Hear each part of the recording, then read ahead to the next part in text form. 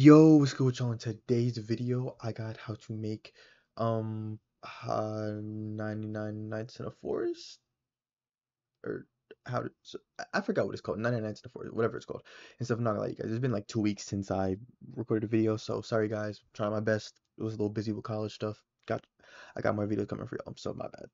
But yeah, so this is part four. I honestly already had this stuff ready to go like literally two weeks ago. I just didn't have the time. I just didn't have a chance to really record it and stuff. Um, so yeah, so one, I made it so the campfire now works. Um, if you drop burnable items on it, it will now um light up and everything. The fire will be enabled, and there's and it'll track how much like however much the campfire is lit. I guess you want to call it.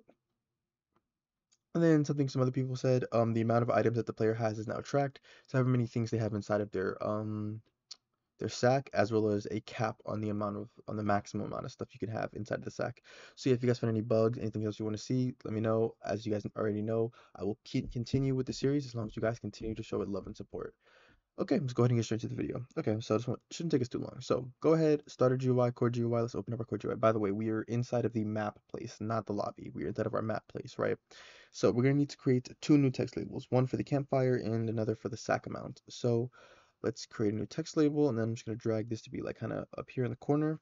So this is gonna be our campfire text label. This is gonna display however much the campfire is. So we're gonna say campfire text label right? Campfire text label, bold text, rich text, scale the text. I'm gonna set the text color to, I say a nice yellow, kind of goldish color. Text text stroke color will be black. Text stroke transparency will be set to zero.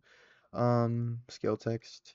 Then by default we can set this to like zero out of 100, but you can set it to whatever you want. But I'm just gonna do zero out of 100, and then I'm gonna set the background transparency to, or actually wait, before I do that, actually I'm going to, um, or no, actually no, yeah, no, let's go ahead and do that. So set the background transparency to one then I'm going to insert another text label into the core GUI. This time I'm going to drag this down to the bottom right, but obviously make sure it's not overlapping with the um, sack text label.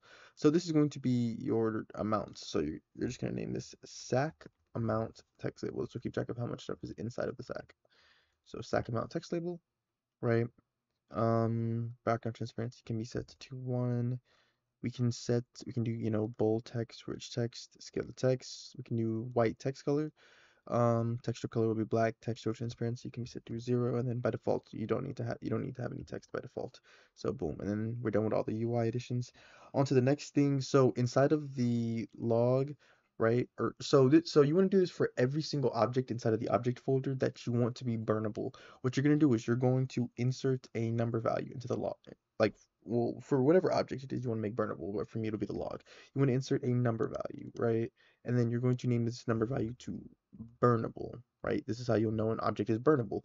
The value will be set to how much it'll add to the campfire, you know.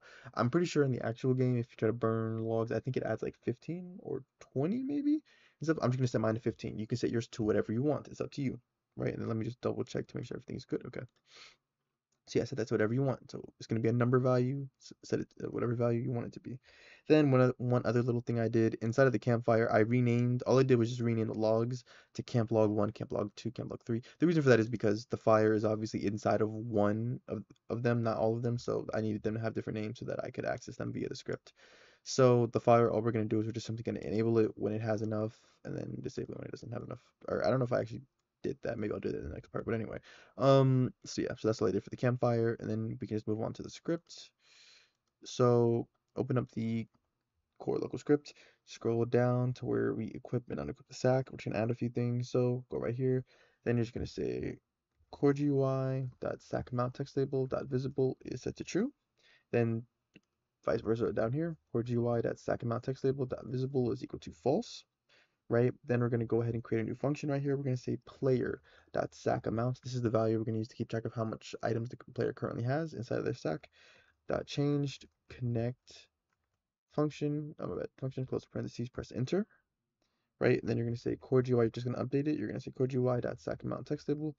Dot text is equal to player dot sack amount dot value dot dot dot quotation marks slash then dot dot dot quotation marks, and then here you'd put whatever it is your maximum amount is in your game. I'm just gonna put five because that's how much is that's the max for the, the actual game.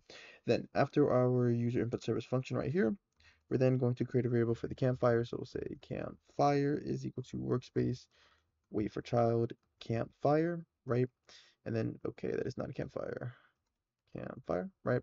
Then we're gonna set up a function. We're gonna say campfire dot current amount dot changed connect the function close parentheses press enter then you'll say oh my bad press enter then you'll say core GUI dot campfire text label dot text is equal to amount or oh my bad, supposed to be amount in the parentheses, not close parentheses, amount, my bad. So yeah, then amount, dot dot dot, quotation mark, slash, uh, on on the outside, dot dot dot, and then uh, campfire dot max amount dot value. Boom. So that simple. Now we can move on to the server server side of things. So open up the server script. Then up here we're going to add a new variable um, we're going to create a variable for the sound service. As you can see, I have a campfire start sound. I get all I got all my sounds from the toolbox.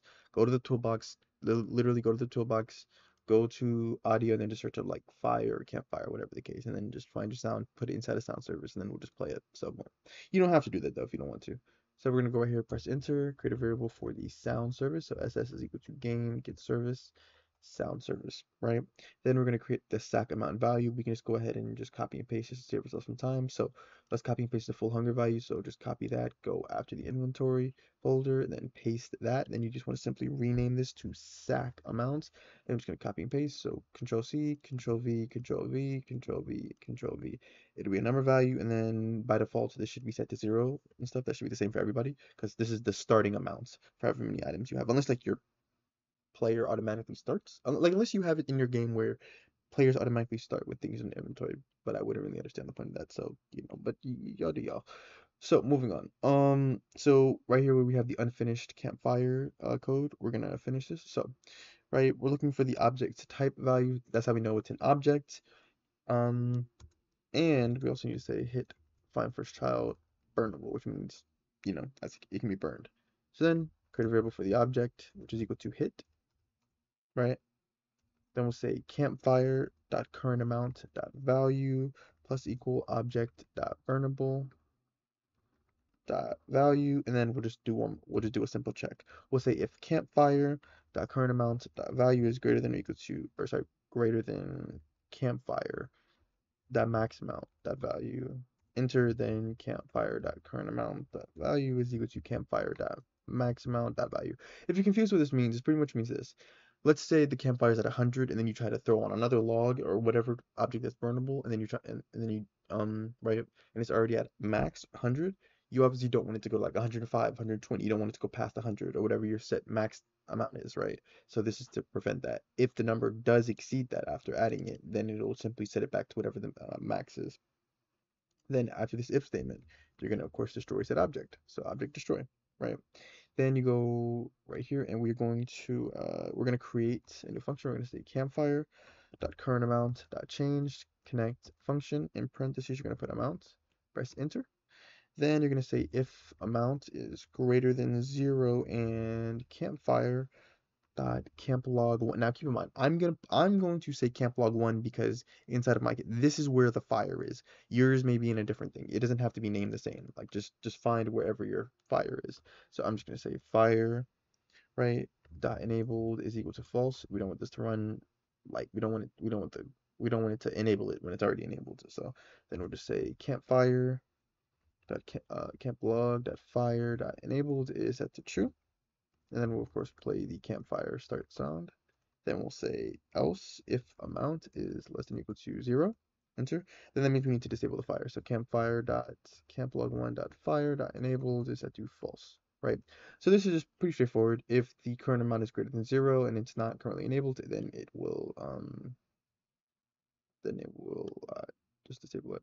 Oh, I guess for this, well, no, that wouldn't matter actually, because it would only change if it increases. Or wait, Actually, it doesn't matter anyway. So yeah. So um, if it's greater than zero, start, it'll set the campfire. If it's not already started, and then if it's not, then it, and then if it's less than zero or equal to zero, then it'll just disable it, right? So then from there, we're going to scroll down to our core events, the on-server event stuff. We have inventory right here, and then what we're going to do is before uh, we're going to go into the uh, if statement for the inventory add for the add event. Then we're going to go after this object variable, right? So right here, then we're going to say if player dot sack amount dot value is greater than or equal to 5, enter return. This makes it so that players can't purchase, um, or not, sorry, not purchase, can't store more things than the maximum. This is going to be your max value. So, so set this to whatever you want your max value to be. And it won't allow them to have more than this number. So they won't have more than 5.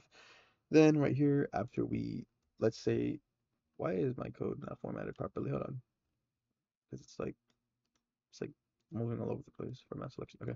Anyway, um, so we're gonna go right here, right? Before we destroy the object, right? We're going to say player dot sack amount dot value plus equal one, because keep in mind is that we keep track of how many items are inside of the inventory, or well, in our sack, I should say. Right. Then of course when we drop something, we want to um you're gonna go after after this end right here. We obviously want to do the vice versa. So player dot sack amount value less equal to 1, right? Very simple, straightforward. Let's go ahead and test to make sure this works. As always, if you guys want access to any one of my scripts or models, just simply read the description and you can find find out how to gain access to that. Okay, I take the axe, right, and then swing at the tree. Okay. Now, here's what I'm going to do. Oh, whoa, they're rolling. Let me, so I'm going to store them, right? I'm going to store them. So as you can see, it's keeping track of how much of how many items I currently have. Now, if I drop one, um, okay, it's a bit interesting. Why isn't it? Wait, why isn't it catching on fire? Burnable. Did I, I did spell that right? Right? Hold on, guys. Let me just double check. Yep. If hit dot. Oh, my bad, my bad, guys. My bad. Uh, one thing, one thing. I made this before we actually get to this part. Sorry, not supposed to be a hit dot parent. My bad. Because I assumed it was going to be a character touching it. So go back and then remove the dot parent. Right, my bad. Okay, so let's try this again. So we go up to it, right? We chop down the tree after a few swings. Okay. Right, so we have four. Right, now if I go over and I drop see? Now, keep in mind, it, the only reason it disappeared so quickly was because, like, I dropped it literally right on top of it, as you can see. 15 out of 100, right? Now, let's, let me, I'm going to drop one, and then I'm going to uh, duplicate it. I'm going to duplicate this real quick. So, if I, right, make a whole bunch of logs, notice how I can only pick up to five. I can't pick up a sixth. If I drop one, then I can pick this one up, right? Because it's a maximum amount, right? So, yeah. Um, hope you guys enjoyed the video. If you did, definitely leave like and subscribe. Let me know if you guys find any bugs, anything. Um, you guys already know the drill. Continue to show the series love and support, and I will continue to um continue drop more more and more videos for you guys on the series. So yeah, I hope you guys enjoyed the video. If you did, definitely leave like leave a like and subscribe, and I will see you guys in the next video. Thank you for watching.